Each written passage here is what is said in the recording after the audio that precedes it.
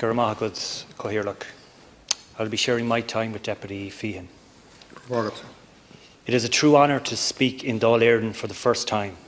From the outset, I wish to sincerely thank the people of Mayo for placing their trust in me as we navigate these unprecedented times in circumstances I could have never have imagined.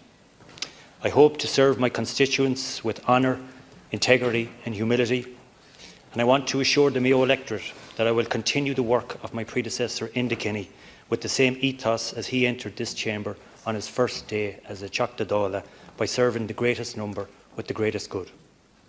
I have always said that what, what matters to Mayo matters to me, and as a new Teachta I want to extend my thanks to the staff of the House of the Oireachtas for the courtesy and professionalism they've shown me to date. I would like to acknowledge the efforts that individuals and families in every community are making against COVID-19.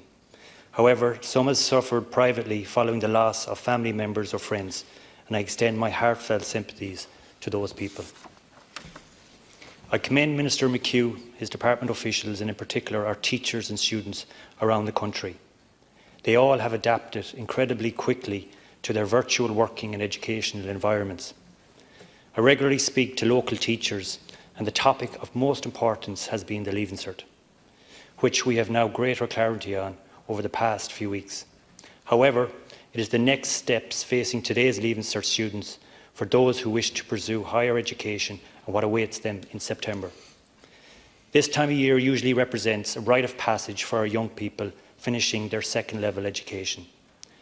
I am hoping that some level of normality can be brought to their next chapter for those choosing to enter higher education.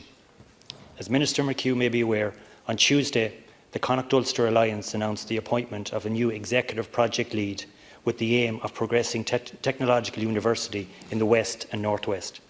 This is a progressive step forward for the region's higher education institutes, including the Mayo campus of Galway Mayo Institute of Technology at Castlebar, as well as Letterkenny IT in the Minister's own constituency.